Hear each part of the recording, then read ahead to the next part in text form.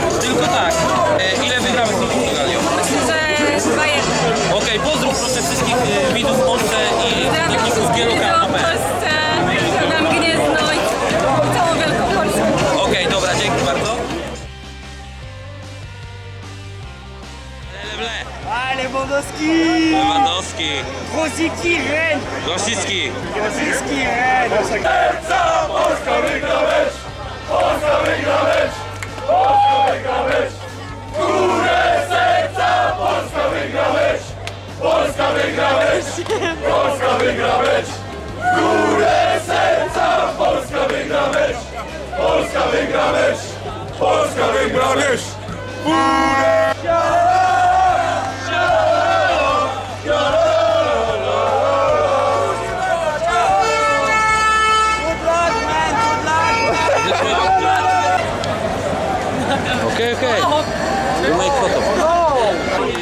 Polska! Biało-czerwoni! Polska! Biało-czerwoni! Polska! Biało-czerwoni! Hej, hej! Nie skacze!